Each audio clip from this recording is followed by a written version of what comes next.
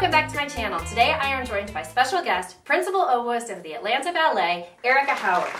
Erica joins me today to talk about helping you find an accessible, affordable instrument to help you on your oboe journeys. Now we're going to talk about some of the instruments that we are seeing most of our students walk in with and some of the new models that are on the market that we saw at International Double Reed Society Conference and we are excited about. And not to mention all of that, there are coupon codes to help you get discounts from anywhere from 500 to $1,000 off some of the instruments. So this should be a really good time for all of us. Not to mention, Erica even joins us at the very end of this video to do playing examples so you can hear each of these uh, instruments and the different reeds that we matched them with. So if you want to just fast forward to the sound clips at the end and not a review of each of the instruments, I will go ahead and put a timestamp here so that you can go ahead and skip forward to just the playing examples.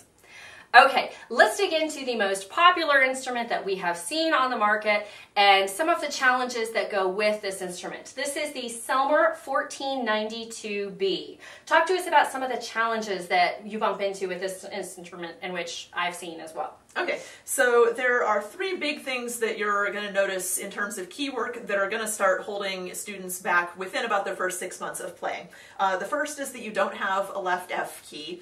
Um, and then the other is that you don't have a forked F resonance key. That's going to mean you're going to be playing the forked F most of the time in band, which just doesn't sound as good as left F does on an oboe that has one.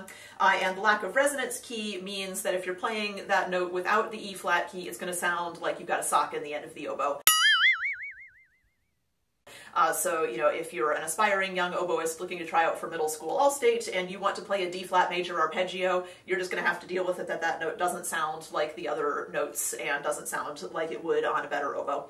Uh, Even I have called Erica and said, why do I sound bad on this note? And she was like, it's not you, it's the instrument. So yep. I don't care how high quality of a player you are, this is a challenge for everybody. Talk to us about what else is missing. Okay, the other thing is that we don't have the low B flat key here on the bell. Theoretically, you're supposed to play a low B and then cover these holes with your knees, which works about as well as you think it does. We have a sound clip of that uh, that we recorded to demonstrate that the sound sounds almost like a trombone when they you open the legs to get the note out because it wah.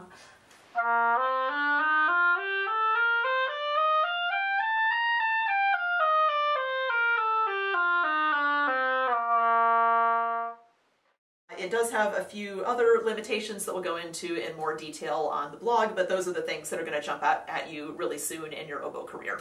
Yes, Erica joins me as co-author on a blog this week. I will put the link to that in the description box down below. So if you want a more detailed look at all of these instruments, you can go ahead and check that out.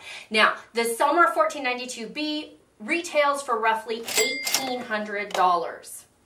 That's an instrument that's going to last you at best, I would say, about six months of your oboe career before you're going to need to upgrade and then sell that instrument. We have a... So before we do, I just wanted to interject. Yeah. The Yamaha 241 is the other entry-level model that you may have come across uh, that does have the same key mechanism and same limitations as the Selmer. Uh, it's about the same cost as the Selmer. Uh, that being said, it does have a little bit better of a sound, but again, it's just not going to be an instrument that will do what you want it to do after just a few months of playing which then you're trying to sell the instrument that you just bought. So at International Double Reed Society Conference, we came across the brand new to the market Nobel Instruments. This Nobel instrument is a wood composite. This is the PVN02 and it retails for $17.95.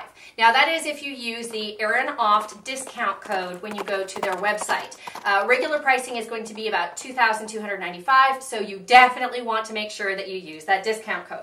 Now, this is not a plastic oboe like the Selmer or the Yamaha that we just spoke about. This is a wood composite. So talk us through not only the wood composite and what that means, but also I am noticing we have got some more keys on this one. Okay, so the wood composite essentially means that uh, the body of the instrument is made from the same kind of wood as a wooden instrument is, uh, but the it's ground up into dust first and then basically just glued back together with an epoxy.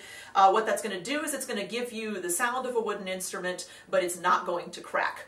Uh, we're not going to go into too much depth about cracks here. There's more on that on the blog post, but that is a really good thing to be able to avoid cracked instruments. So mechanically speaking, uh, we do have the left F and the forked F resonance and the low B flat key. Uh, yes. There are also a couple of trill keys uh, that are not on the Selmer. Uh, it's not quite full conservatory, but this has all of the keys that you're going to need to get you through several years of playing at least.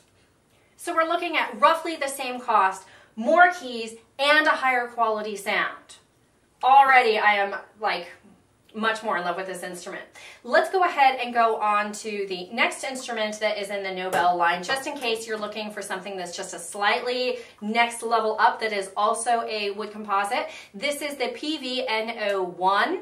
This one with the Eryn Oft discount code comes in at 2295 and this one, I believe, is a full conservatory, if I'm not mistaken. Yes, this one is full conservatory. It does have the split E ring and the banana key uh, that you don't have on the uh, lower model. It's slightly thicker walled, so it weighs a little bit more, but that's going to give you a bigger, more rich sound to it. Um, and again, just get you a little bit further down the road in your oboe career before you feel like you need to step up uh, into the professional realm of instruments. Now this one, uh, retailing at uh, 2295 being a wood composite, I believe could be in some ways comparable to, dare I say, the Renard 330. The Renard 330 is also free, uh, full conservatory, but it's all plastic. Yes. Correct? Okay, we have a Renard 330 here. Um, I have to admit that um, the keys, all the same. Yes. That's uh, yeah, and the uh, this particular 330 that I'm holding is not brand new, so it doesn't have the B flat resonance key or the third octave key. If you were buying one new, now those are now standard on a Fox instrument, uh, so there is no difference key work wise between those two, other than uh, the Fox doesn't have the split ring E, uh, but it does still have the vent hole in that key, so the sound of the E will be the same. Uh, you just won't be able to do the D sharp E trill as easily.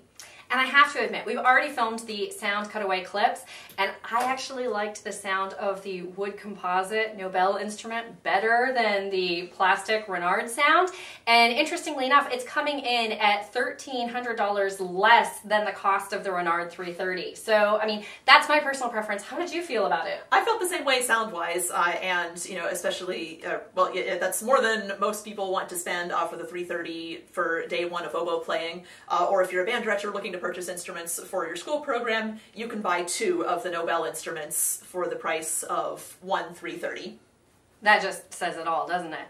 Now, if you think we're done, no, no, this is like a Ginsu knife commercial. We have one more Nobel instrument to share with you guys. We have the PVN01H Deluxe Oboe, which retails for uh, $29.95, which is still 500 to $600 less than the Renard 330. So talk us through this top end Nobel instrument. Okay, so uh, in terms of keywork, this is identical to the uh, other model that we just looked at. Uh, the difference is that on this one, the lower joint and the bell are solid wood rather than composite. Uh, it's a little bit heavier uh, still, but again, that's going to give you a richer, fuller sound. There is going to be a little bit of a break-in period uh, sound-wise with that. Uh, to begin with, the low register is a little bit more resistant, but it will open up with a couple months of playing uh, and just give you um, one more layer of sounds there. Um, the only thing to watch out for with that is particularly if this is something you're looking at getting for a band program where it may be sitting in a locker in, with no climate control all summer. Uh, for the most part, when instruments crack, it is in the top joint. They do occasionally crack here. Um, if you're a student or a parent looking to buy this uh, and you're going to be playing it all of the time, that's not really an issue, but that can happen uh, if the instrument is sitting unused for a few months at a time. Fantastic. I do have to say that Erica regularly takes care of all of my students' oboes and has joined us for oboe repair at Jacksonville State University. So when she speaks about the cracking and awareness of that, she does have a solid background to be speaking from. She is not just a performer, she is also an educator and as well a repair technician and a reed maker. Um, I do have to say that in the uh, cutaways that we're going to go to at this point now, she does demo on the standard Jones reed. Most of the band programs that I'm aware of, when they do purchase store-bought reeds, they are are typically the Jones reeds, so we will demonstrate what they sound like on a Jones reed. And she also offers handmade reeds. The reed that she has matched to all of the uh, instruments that she played today is one of her own handmade reeds. So if you do want to pick one of those up, her info will be in the description box down below.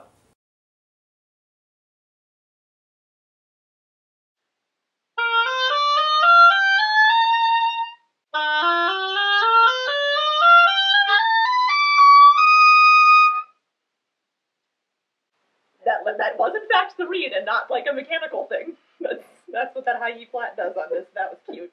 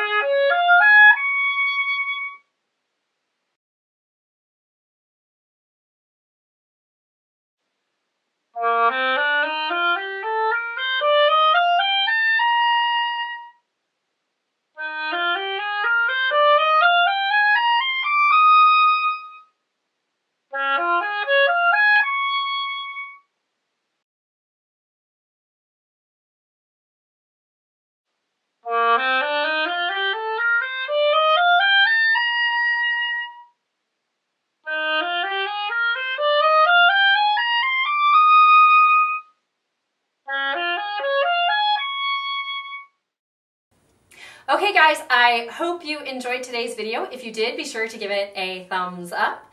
Thank you to Erica to joining me today. I hope you enjoyed having her as a guest on the channel. If you want to keep up in all the adventures, there is always Snapchat, Instagram, Twitter, and Facebook, and I hope to see you guys next time.